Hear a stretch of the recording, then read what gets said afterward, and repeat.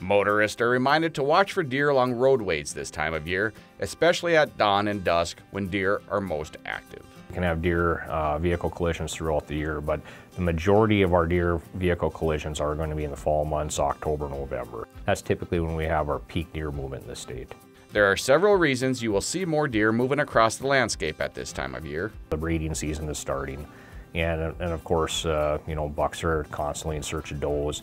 Uh, the other thing is, you know, oftentimes deer will have different summering areas from wintering areas, and they're dispersing to different areas. And when our upland bird seasons open up, there's just people walking in just about every bit of cover almost on a daily basis, and, and that disperses deer along with just uh, farming activities throughout the state, uh, people enjoying the fall.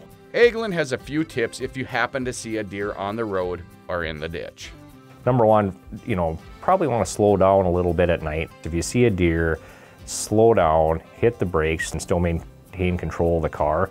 Do not swerve. Oftentimes, when you see one deer, be on the lookout for other deer in the ditch. Particularly if there's a buck chasing a doe or the doe still have fawns with them. There are known areas where deer cross the road, and some are in high risk areas marked with deer crossing signs. You know, anytime you have uh, areas where there's habitat adjacent to food, uh, deer certainly can be crossing.